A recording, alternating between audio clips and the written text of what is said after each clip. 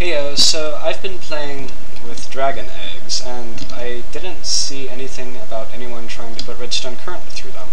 So, as you can see here, like, it, um, current doesn't go through it, but one thing it does do is that it does fall.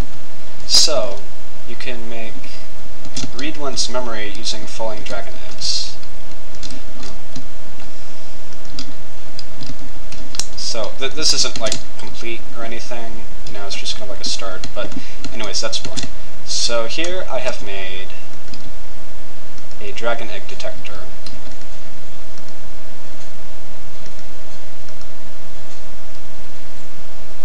Woo.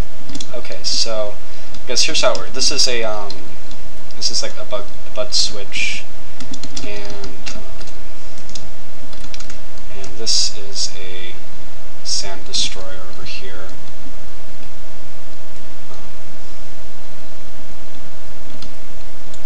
you can reset it. Um, and that's pretty much it.